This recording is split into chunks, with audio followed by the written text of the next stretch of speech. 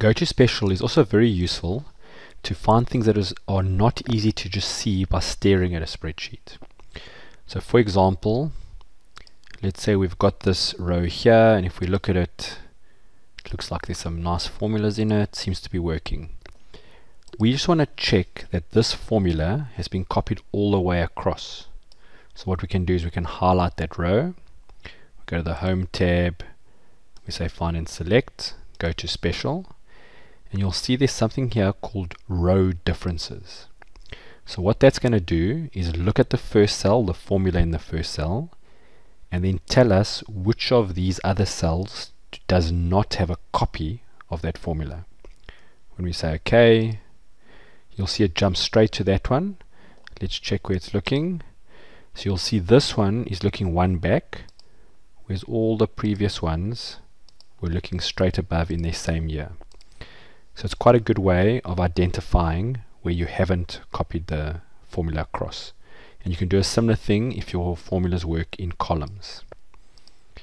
Another thing that's quite useful is looking at this, I can't really tell if there's any conditional formatting or data validation. I'd pretty much have to search each cell. So again, I can go to Home, Find and Select, go to Special, and you'll see down here, I can search for conditional formatting either all conditional formatting on this sheet or else the same as whichever cell I'm in. In this case I'm going to say all and when I say OK I discovered that there's conditional formatting over here. At this stage then I can go and see what we're doing there.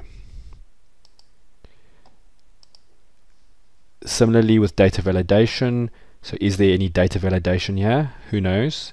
We'd have to click on each cell and see what happens.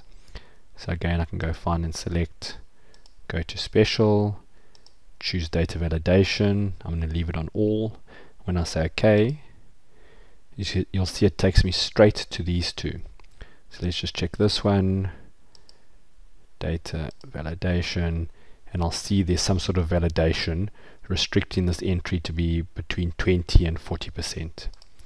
So using the go to special, we can find things that are not easy to see just by looking at a spreadsheet.